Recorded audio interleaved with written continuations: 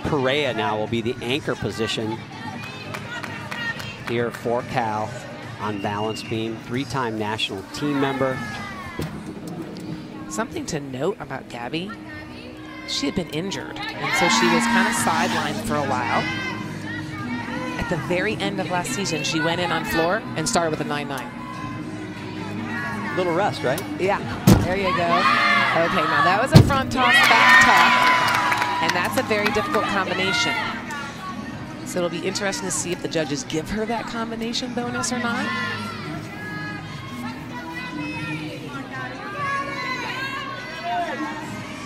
Kylie Quinto on bars for BYU, a 9.825. So a couple very good scores for them after a slow start on that event.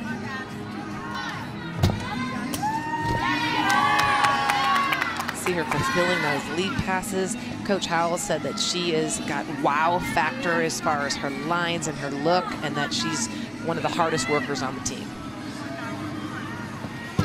This is a cool dismount. A oh! I've never seen that. Have you ever seen that combination into a dismount before?